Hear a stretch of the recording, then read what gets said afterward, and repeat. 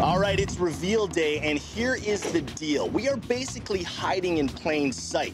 We're at the car show at Fuddruckers in Lakewood, California. We have Chip's truck here, and we're gonna be pretending we're filming content for the show, talking to the fans, getting in touch with the people. And I know Missy and Chris are on their way here right now. Chris loves coming to car shows, and as a special surprise, Missy's bringing him to this car show. But what he doesn't know is that his car is right over there, and he's not gonna know until we tell him.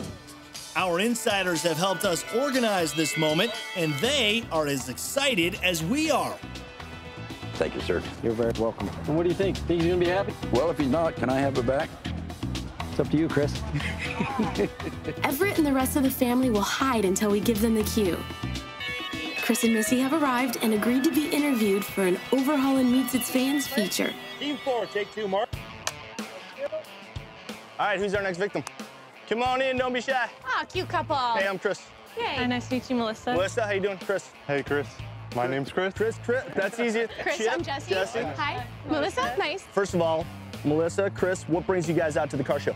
Oh, my wife surprised me. Uh, I had no idea we were coming out here. We came all the way up from Palmdale, and I really love classic cars, so we've been looking for a good car show for a while.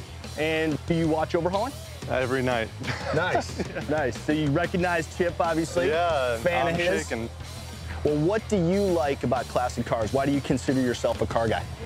My grandpa has an old 1970 El Camino, and growing up, I always worked on it with him. It was just really cool experience to build it up and, you know, make it our own, and uh, I've always loved it, and when my grandma passed, he gave it to me. So what, what sort of shape is El Camino in? It's in decent shape. It's got some cosmetic stuff that needs work done. That kind of sounds like it would be a good car for the show. If you could do anything, no budget, no amount of time, what would you do to the El Camino? I'd make it faster, louder, and I'd fix up the body. Uh, I say, I think there's an Elko right over there. It looks like a uh, Chevelle from the front, but it's I went Yeah. around the back. It's an Elko. It's gorgeous. That red is beautiful. That's, It's really cool. oh my God. Hey, Chris, have you figured it out yet? Are you guys serious? Have you figured it out yet? Oh my God. Congratulations and welcome to the family. That beautiful red El Camino over there is yours. Oh my God, are you guys kidding me? Christopher?